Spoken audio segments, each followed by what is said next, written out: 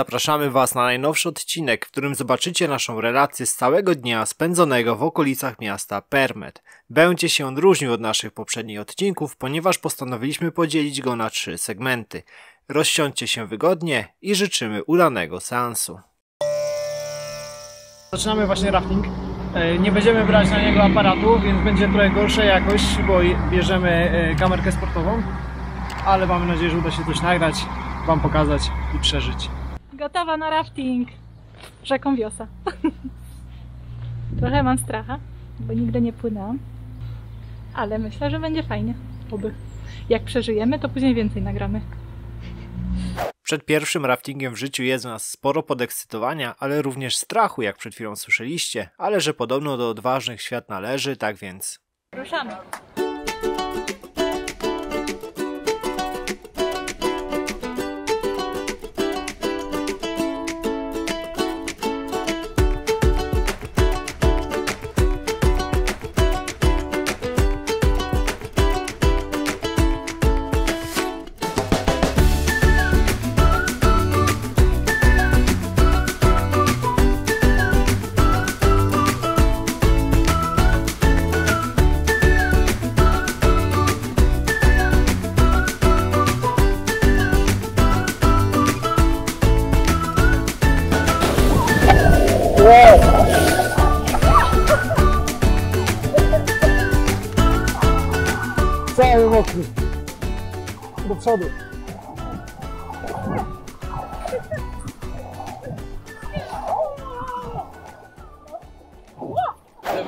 River now is normally, but you can start off the season in the Merce April. In the Nivel of the river, you can go in 5 meters up. Oh my god, really? In winter, in November, December, you can put the much raining here and the snow in the mountain. In the Nivel for the river, you can go in 20 meters up.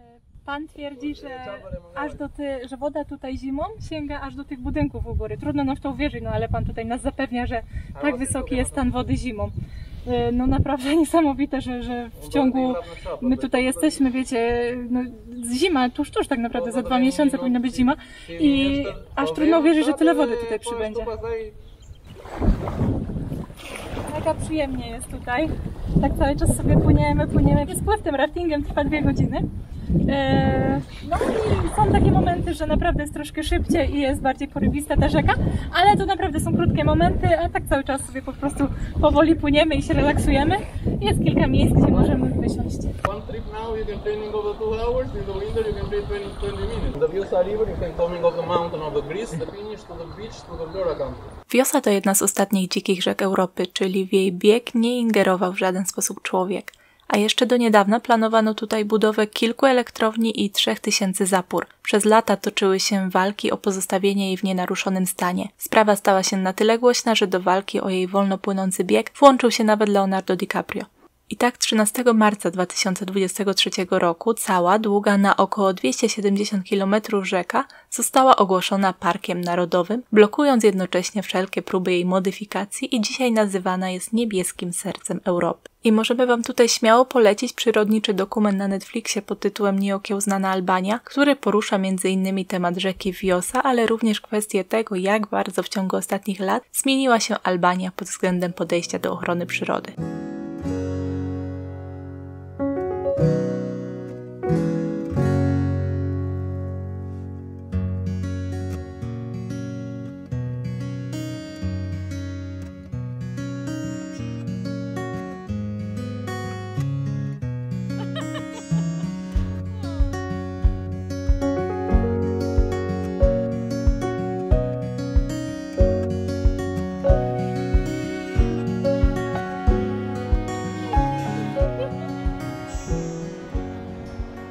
Podobno stamtąd można, można skakać, ale chyba za mało jajka. Za zimno też. Powiedzieli, że mam zejść z łódki, popłynąć tutaj 100 metrów. Nie powiedzieli, jak mam teraz wejść znowu na łódkę. Więc chyba do końca będę tu płynął. Mega głęboko, mega zimno, ale podobno według sternika mam się uodpornić na wszystkie choroby przez to. Ta śmierć też się uodpornie z jakiegoś mój z wyziębienia organizmu. Nie, a tak serio to nie ma tragedii. Bardzo, bardzo spoko. Okay now? It's perfect. It could not be better. I'm going from here. Zainteresowanym takim spływem możemy śmiało polecić firmę Albrafting. Wszystkie informacje znajdziecie na ich stronie, zostawimy Wam link w opisie filmu. Jak zauważyliście, całą drogę towarzyszył nam bardzo sympatyczny sternik, który zasypywał nas ciekawostkami o okolicy, a nawet od czasu do czasu rzucał po polsku. Do przodu! Wow! Misja ratunkowa. Czułeś się jak worek kartofli? Troszeczkę jak worek kartofli, dokładnie.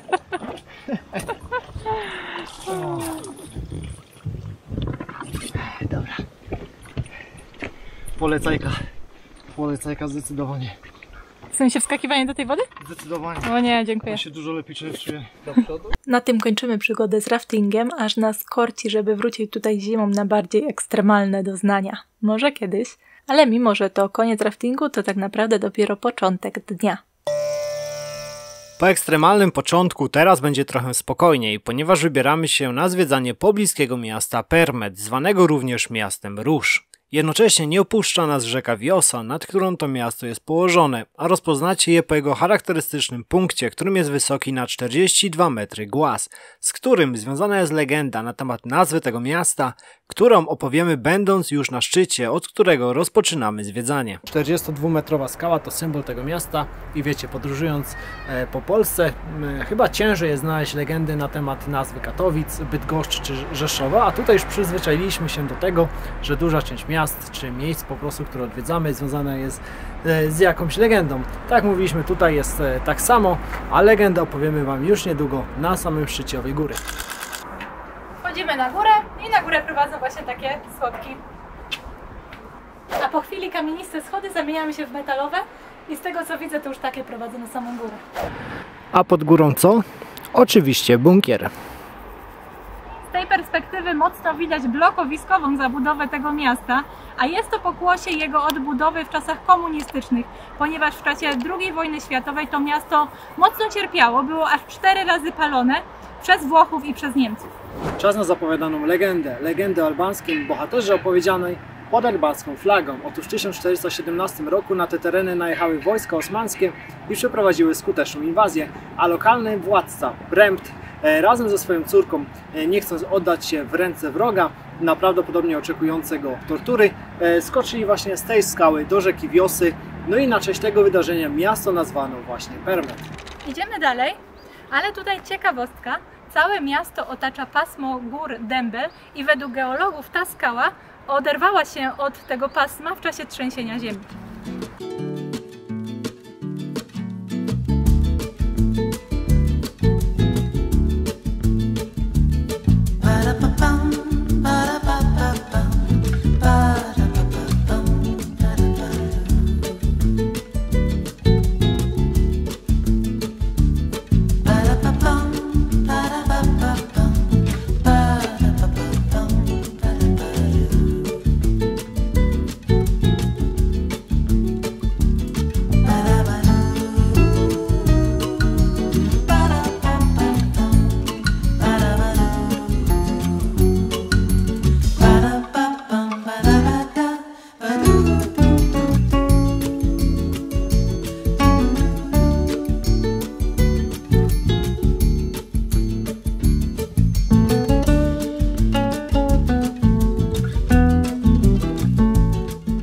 Miasto samo w sobie ma fajny klimat, ale trzeba przyznać, że jest przede wszystkim bardzo czyste i mega zielone. Znajdziemy tutaj e, rzekę, góry, które widzieliście, ale chodzi mi e, również o samo centrum miasta. Jest tutaj sporo zie- zielonych skwerków, e, takich na przykład jak ten za moimi plecami z masą róż.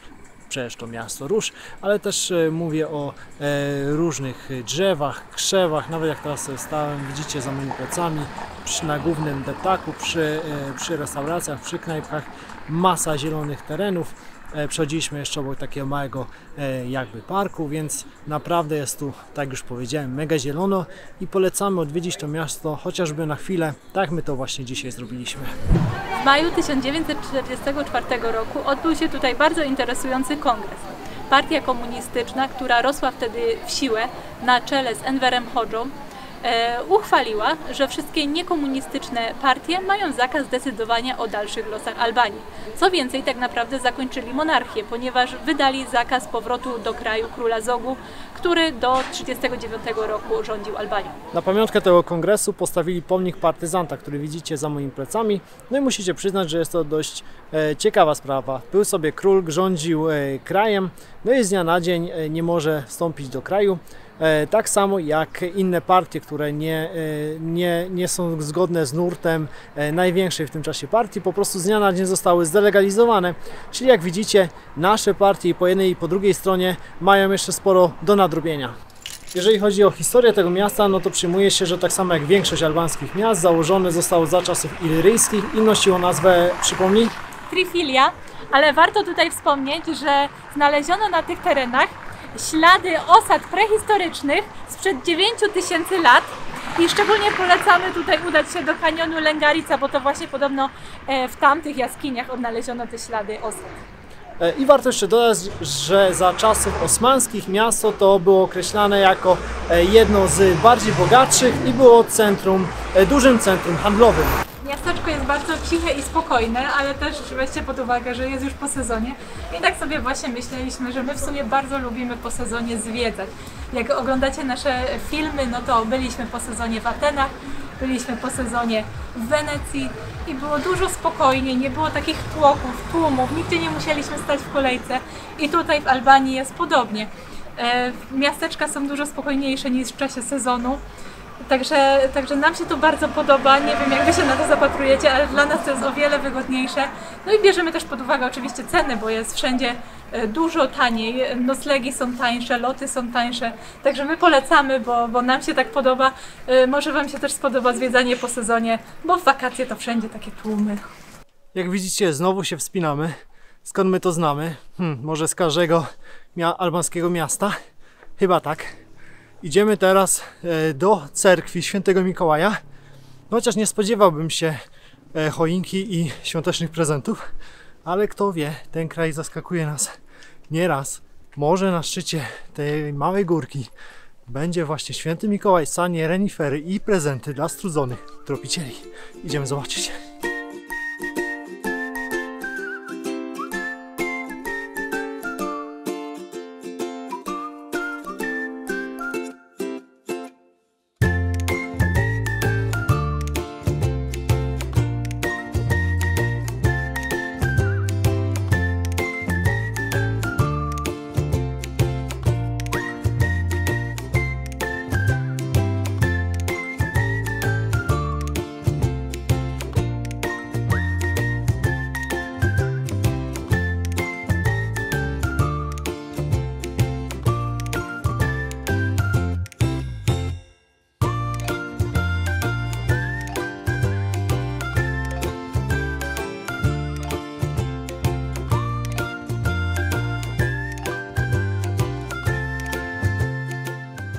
Prezentów nie ma, ale jest cerkiew z XVIII wieku. Podobno w latach 60. XX wieku była dosyć mocno zdewastowana podczas kampanii antyreligijnej w kraju. Z zewnątrz wygląda całkiem dobrze, więc y, została odbudowana. Zobaczymy, jak wygląda w środku. Próbowaliśmy się do niej dostać, ale zamknięta na cztery spusty. Nawet popytaliśmy trochę sąsiadów, ale niestety się nie udało. Z zewnątrz wygląda bardzo ładnie, więc tym bardziej żal, że nie weszliśmy do środka. Żeby nieco zagłuszyć nasz żal, poszliśmy sobie na zakupy. Kupiliśmy sobie najpopularniejszy w Permecie deser, Giko. My kupiliśmy akurat orzechy w słodkim syropie, ale też y, najczęściej są to robione właśnie owoce w takim słodkim syropie. Zobaczymy, czy nam to będzie smakować, ale wiemy, że to pochodzi z Permetu, więc, więc z ciekawości kupiliśmy sobie taki jeden słoiczek. A za ile? A za 500 leków, a te owocowe były za 400. Aha. Zakupy udane, więc oddalamy się teraz nieco od centrum, ale nie za daleko. Przejechaliśmy około 20 minut i znaleźliśmy się w takim oto pięknym miejscu. Przed państwem naturalne źródła termalne.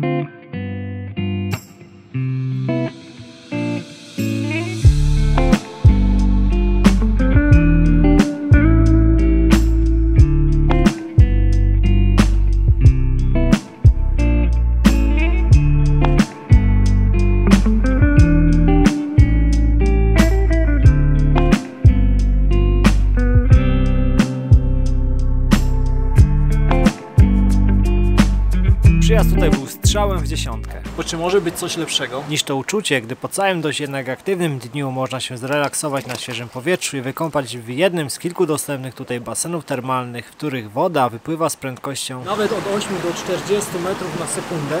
E, Znajdujemy się w miejscowości Będrze i znajdziemy tutaj 6 takich basenów. E, No i jak to woda siarkowa wpływa e, pozytywnie na, na nerki, na żołądek, na choroby skóry, a także na reumatyzm. E, My znajdujemy się aktualnie w największym z basenów, nazywanym źródłem kapłana. A nazwa bierze się stąd, że według legendy ten basen ma taką moc, e, że uleczył księdza z paraliżu. Basen ten jest darmowy. Całe te termy tutaj, całe, całe, całe te 8 basenów tutaj będziecie wszędzie za darmo, a przypuszczam, że w innych krajach byłoby to na pewno płatne, byłaby tutaj rozbudowana infrastruktura. Na 100% byłoby, byłyby ze 3 hotele spa, byłyby, byłoby z 5 restauracji o zawyżonych cenach, no bo przecież miejsce turystyczne. No i dodatkowo w okolicy na pewno byłoby jeszcze Dino, i Tesco. A tutaj nie ma nic, jesteśmy otoczeni górami, jest naprawdę pięknie, także przyjeżdżajcie dopóki Albania nie ogarnęła, że na wszystkim można zarobić. I mimo, że jest woda siarkowa, chyba też już nic nie czujesz, nie? Nie, ja w ogóle tak naprawdę od początku nie czułam jakoś bardzo, trochę czuć na początku jak się tutaj idzie, ale nos się tak szybko do tego przyzwyczaja, że zupełnie to nie przeszkadza. Tak, pierwsze, nie wiem, Tak. 3-4 minuty czuć takie, no zapach siarkowy po prostu, tak. ale teraz już jest totalnie neutralny. Tak. No i co jeszcze jest troszkę ślisko, więc jeżeli macie e, buty do wody, no to możecie tutaj ze sobą zabrać. E, Mogą się przydać szczególnie wchodząc do tych basenów termalnych, ale my oczywiście nie mamy. Tak, E, mogliśmy, czy mogliśmy o tym pomyśleć, że jak pojedziemy na naturalne źródła, to będzie jest duża szansa na kamieniste i śliskie wejście? Mogliśmy. Czy to zrobiliśmy? Nie. No właśnie. Ale tak Karolina mówi, kwestia tylko wejścia, gdzie są takie duże głazy, na których Tak. są właśnie takie glony i one są dość śliskie. Ale później już jest ok, później jest taki drobny kamyk, y, w ogóle nic tutaj się nie wbija, nie boli, także jak nie macie butów do wody, to też przeżyjecie. Śmiało wbijajcie tutaj, nie przejmujcie się tym. Tak, miejsce jest e, po prostu niesamowite. Nigdy w czymś takim e, Tak, nie byliśmy nigdy w czymś takim. Nie, nawet jeszcze się nie znaliśmy. Możemy Was czymś takim. no Jest to nie. niesamowite miejsce na, w samym środku. E, Potem Wam jeszcze e, pokażemy. Zaraz jest wejście do kanionu. No jest tu po prostu pięknie. Naprawdę. e, No Albania nas zachwyca, zwłaszcza właśnie naturą, widokami. Na to miejsce no to po prostu e, można przychodzić, robić zdjęcia na przewodniku, na wszystko. No, powtarzam się, ale jest to po Pięknie. prostu piękne. Z miejscowości Permet jechaliśmy tu 20 minut, Tak, coś tak, takiego, także z 20 Permetu minut. bardzo, bardzo blisko. E, A dojazd też jest w porządku, także nie było żadnych problemów. Jeżeli nie pozostaje nic innego jak wpadać, podziwiać widoki, jaskinie, lasy, kanion, góry i naturalne źródła. Dokładnie. Pospacerujecie po kanionie, zmęczycie się trochę i później e, tutaj e, wpływacie sobie do tych basenów i odpoczywacie. Znajdę się teraz w drugim basenie. Basen mniejszy, o dziwo woda jest mniejsza. I tutaj przypomniało mi się, że nie powiedzieliśmy o temperaturze wody, a waha się ona między basenami od 25 do 30 stopni. Cały ten mini kompleks basenów termalnych znajduje się e, przy samym kanionie Langarica, e, do którego symbolicznym wejściem jest Most sędziego.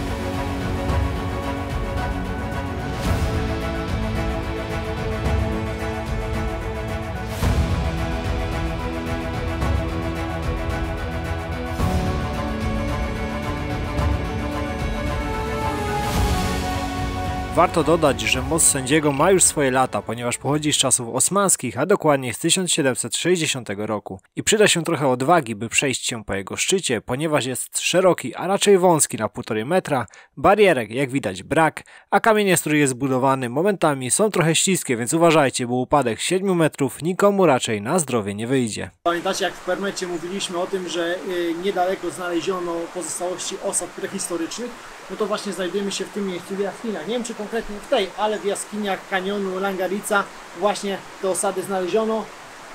Spróbuję wejść, może ja też coś znajdę. Coś udało się znaleźć, ale są to pozostałości raczej po cywilizacji współczesnej niż po tej prehistorycznej. Przypomina Ci coś ta jaskinia? Pamiętasz jeden z y, pierwszych zamków, jaki nagrywaliśmy? Pamiętam, co była jaskinia w kształcie, W kształcie płuca. czasz, cza, albo czasz, nie płuca, nie czaszki, tylko płuca, no. To nie wiem, czy aż tak bardzo podobne, ale troszkę mi przypomina. Pamiętasz jak się nazywał? Ja kompletnie nie pamiętam. Nie, No to jeszcze za czasów lockdownu. Pamiętasz jak pojechaliśmy? pamiętam i to było w lesie, nie? Tam W lesie. ledwo co było widać. Troszkę ruin, ale nagraliśmy odcinek zamkowy. No, tam kilka cegieł było, ale to było e, kilka cegieł w lesie. To było jedyne miejsce, do którego można było wyjść. E, lasy były otwarte już chyba wtedy. Lasy były otwarte, tak? Lasy były otwarte i nagrywaliśmy tam odcinek zamkowy, ale mało było tych ruin zamkowych. Ale Do fakt, że na samym początku były te płuca lasu, to się nawet tak nazywało. To nie było strężnik? Ostrężnik. Idziemy dalej spacerem e, po kanionie. Kanion Langadica ma około 4-5 km długości. E, no i wybraliśmy się na spacer, ale jak to w kanionach bywa, ciężko przejść wszystko e, suchą stopą. Problem jest taki, jak widzieliście, mam trampki e, i przed pierwszą przeprawę chciałem układać kamienie i przez nie przejść. E, potem sobie darowałem, mi się, że prawdopodobnie mam w samochodzie drugie buty, a jak nie, no to z Vlory tylko 2,5 godziny autem jakoś dam radę. Mm, A oczywiście takiego spaceru sobie nie mogłem darować. To nie było w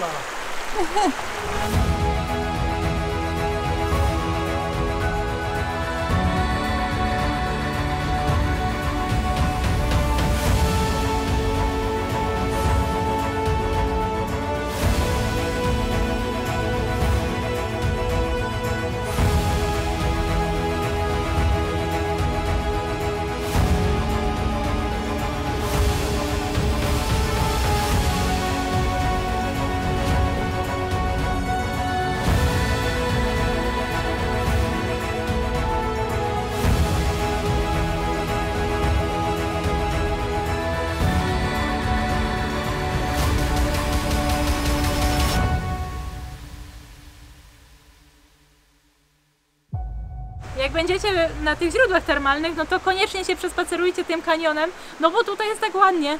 E, wiecie, no jak w kanionie, ale te formacje skalne są niesamowite, jest tak wysoko, można cały czas chodzić i obserwować, bo jest pięknie.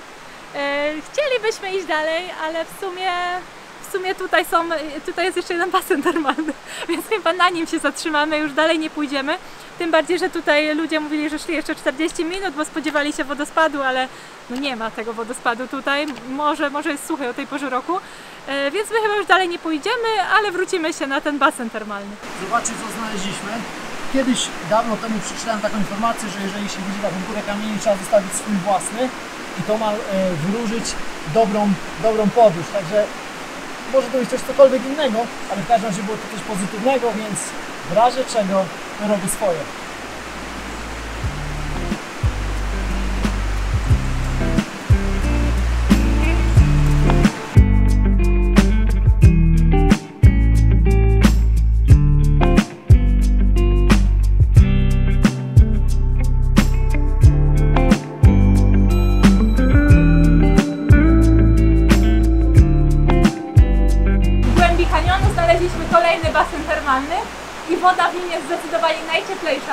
Także gdybyście się zastanawiali, czy tutaj iść, czy warto się przespacerować tym kanionem, to chociażby dla tej ciepłej wody.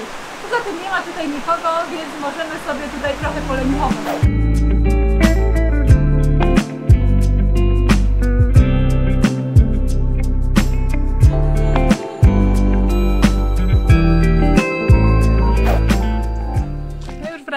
Stronę samochodu i tutaj e, przy drodze na, na, na termy e, są już widzicie jakieś domki drewniane, więc coś tutaj się dzieje, jakaś infrastruktura e, powstaje, ale no, no, na razie jest to takich 5-6 domków.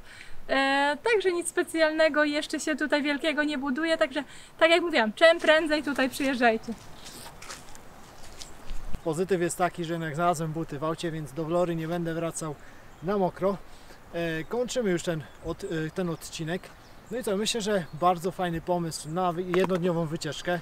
Zacząć od e, na przykład raftingu, później pójść do tego miasta Permet, bo choć miasto super klimatem, to nie sądzę, że był sens spędzać tam więcej niż 2-3 godzinki, a na sam koniec dnia, co może być lepszego, tak jak już mówiłem, niż spacer po kanionie i termy, kąpiel w termach o zachodzie słońca. My się super bawiliśmy. Dajcie znać, czy Wam się podobało. I co, widzimy się w kolejnym odcinku z Albanii. Wy zostawcie subskrypcję, lajka i te wszystkie e, YouTube'owe rzeczy. Na razie. Z Permetu kierujemy się jeszcze bardziej na południe Albanii, w kierunku granicy z Grecją, aby zobaczyć jeden z najpopularniejszych albańskich kurortów, czyli Sarandę. Przybliżymy Wam nieco historię tego miasta, zwiedzimy zamek Le Kursi i przekonamy się, czy na nas też to miasto zrobi takie wrażenie, skoro przyciąga tak duże ilości turystów. Zachęcamy do sprawdzenia tego razem z nami.